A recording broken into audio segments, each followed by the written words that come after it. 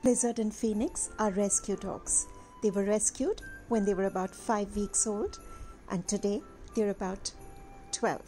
It's been a lovely long journey filled with lots of love, lots of laughter.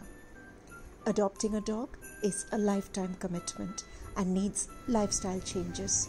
So do make sure that the family is on board and prepared for this.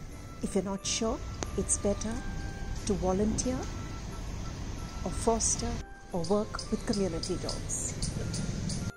As dogs grow older, they need a lot of care and often medical care.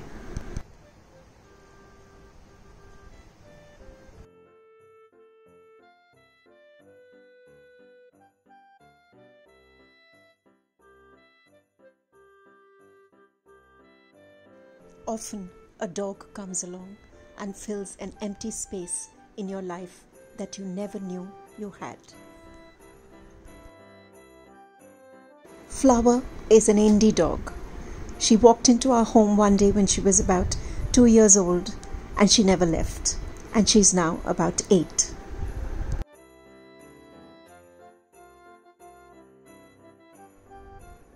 Love, laughter, joy, trust, faith, loyalty.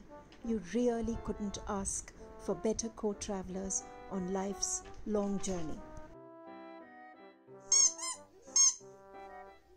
Squeaky toy.